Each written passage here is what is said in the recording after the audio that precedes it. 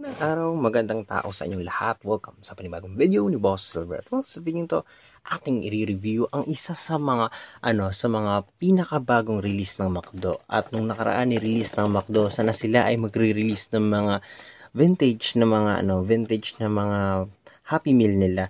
And I think nagmula siya sa 1990 or 1980, basta vintage sila. And ako as a toy ano as a toy collector is sobra akong na-excite kasi alam na naman natin ng mga vintage yun and andito na yung mga laro na yun bago pa lamang ako panganak.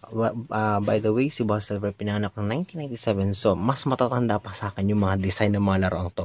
Although is uh, sure naman tayo na hindi ito yung original kundi mini ano parang ginawa lang sila ulit yung design ginaya lang before and and kahit ganun pa man is na-excite pa rin ako at gustong gusto ko nang buksan to. And without any further ado, let's start this video right. So, upon receiving ng laruan na ito, uh, makikita natin dito na, wait lang, nagpupok ko kasi nagpapagawa kami ng bagong karto. Eh, no? Pasensya na. So, enough of that. Ito naman, andito yung ano, kapag nag-purchase tayo ng isang mga Happy Meals, hindi mo siya actually makikita, hindi ka makakapamili. Although, makakapili ka lang based sa kanilang number. Ito ay Surprise Happy Meal Toy number 5 from 1990. So, mas matanda pa sa akin yung design ng laro ng to. And, gusto ko na siyang buksan. Andito yung puting plain. Halos hindi natin makikita kung ano ba yung nasa loob. Kasi napaka ano niya. And kukuha na tayo dito ng Hobby Night. Ilalagay natin siya dito. Wait lang. Bubuksan ko siya. Ayan. And kapag bukas, wow! Lupit nito. Isang Happy Meal na maliit na ano na box. Wait lang. Go-compare ko siya. Ayan o. Oh ito yung box, ito yung Happy Meal na box, napakalupit. Sa ako mismo, hindi ko alam kung anong nagagawa nito kasi wala siyang instruction itself na ipsinama. Talagang laruan lang itself. No? So, bubuksan natin siya. Wait lang. Explore natin siya. Paano ba to? Ano ba to? Walang, alam eh, walang, ano, walang kahit anong, ano, wait lang samahan niyo po si Boss Silver na tuklasin kung ano nagagawa ng laruan na ito. Baka masira ko, just wait lang. Ano ba to? Ay, hindi, nagta-transform. Hala, ang galing.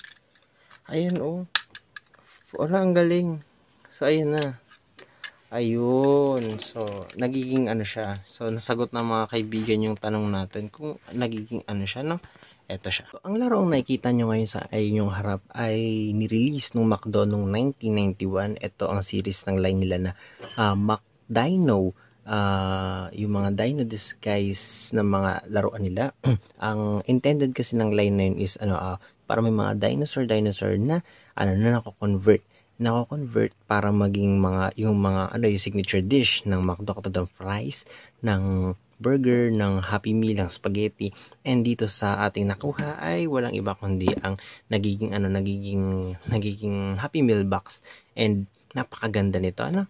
Yung detalye ng box at ano at yung mga maliliit na mga galawan para maging box siya at na at mga ano at maging dinosaur is napakasimple hindi mo kailangan maging matalino para gawin yun and yung ano yung yung nostalgia nostalgic effect na meron yung laro na ito is napakaganda.